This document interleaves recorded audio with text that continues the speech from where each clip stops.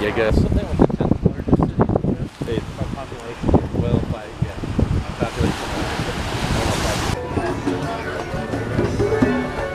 yeah. Nothing sounds like steel drums. Oh, God, that sounds good. Right, Kenan? We're squatting at the Marriott for free water.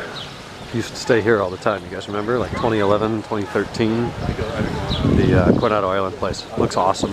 Used to have the red umbrellas, though, which I liked. I don't know. I'm being picky.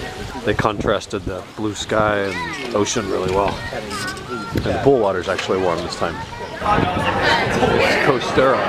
We had dinner and Jeff is here. Yeah, he's been to California once. He came last year. Hasn't been to Diego though. So we can kind of give him a tour of Coronado and such this afternoon.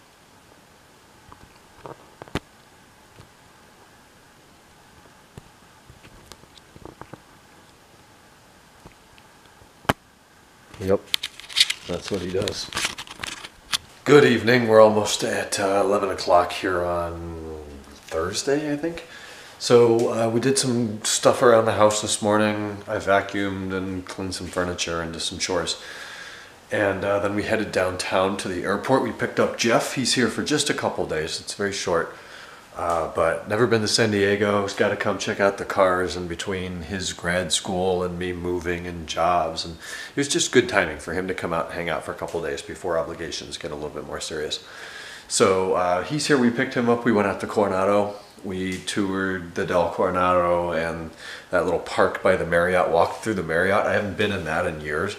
Isn't it amazing? You know, I've only stayed there no more than two weeks on no more than three or four occasions, and it's been at least, what now, 20, probably 13 was the last time I was there, so it's been five years since I've even been there, and you walk in and just the smell of whatever they use as a fragrance in there brings back like all the memories of being on those trips with my grandparents and the stuff we would do, and it was cool to be back, and it's mostly the same. Um, but it was cool to see that again. Then we headed over to Coasterra on the southern tip of Harbor Island for dinner. We had about a 45 minute wait for a table, so we had some margaritas and I had a mojito.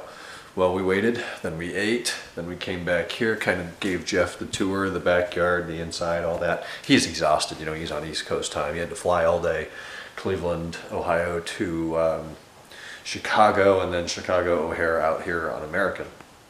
So he's here now he's up sleeping. He's got to get up early tomorrow. He's got to write some paper by midday, so he's going to work on that.